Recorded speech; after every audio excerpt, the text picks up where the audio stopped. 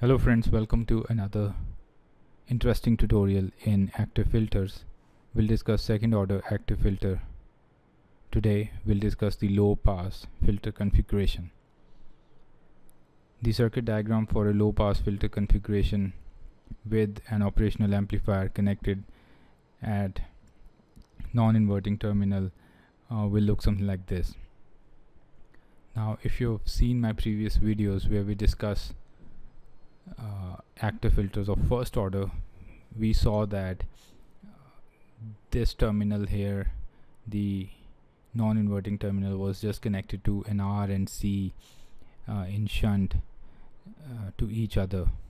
So that was a pr pretty simple configuration but over here this this new R is introduced and a new capacitor is introduced which is connected at node 1 and is terminated at the output.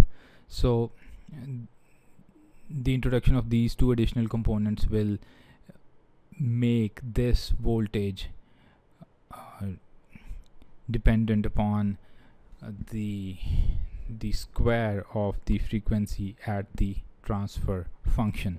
So we know that in active filters essentially operational amplifiers are used inductors are not used.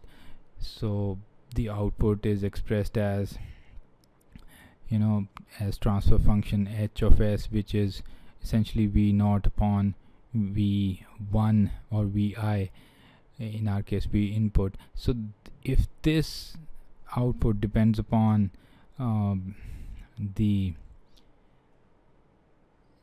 the square of or inversely proportional to the square of s square which is the frequency components then then we'll determine that it is a second order filter. And that is what what we are going to do in this tutorial.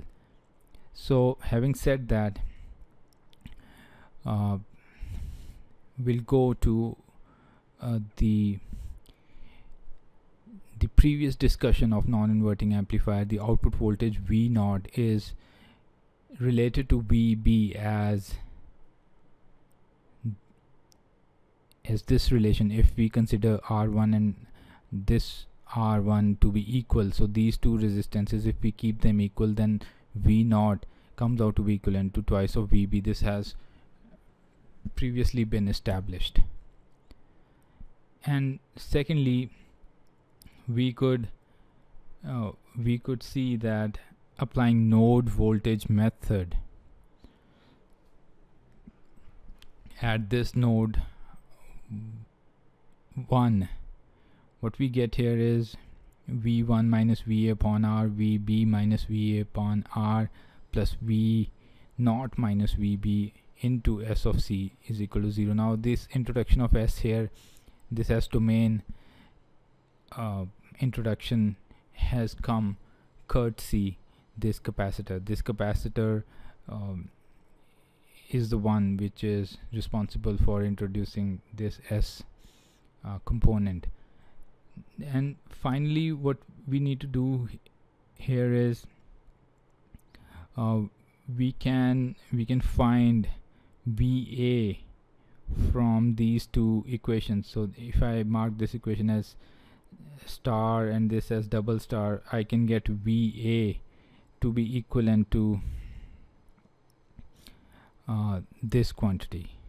So this is just just a simplification of these two equations to get VA and finally uh, we know that please make a correction here VB here if we see VB voltage of with respect to this capacitor and this resistor then we know that VB, VB voltage is related to uh, the voltage drops at R and C like this.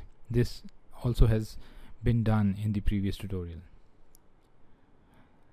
Now once this thing is proved uh, we know that VB can be expressed uh, as half V naught then it becomes pretty simple to get an expression for v naught upon vi so the, the final step is to get an expression for v naught and vi which is something like this. So v naught upon vi is this quantity multiplied by va va is substituted this va this entire thing is substituted here. So what we get is our hs which is our transfer function. And we see that this transfer function is dependent upon the square of s. And k here is 2 and we also see that omega naught becomes equivalent to 1 upon rc q is 1 the quality factor uh, from this equation by the way. Just comparing the standard equation.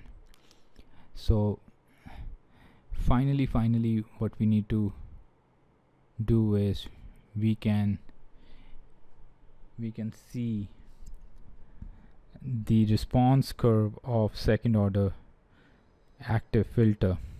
So we see that if this was to be the cutoff frequency the response of the second order low pass filter will be more sharper if q is smaller. So uh, I hope this quick derivation of second order active low pass filter was of help.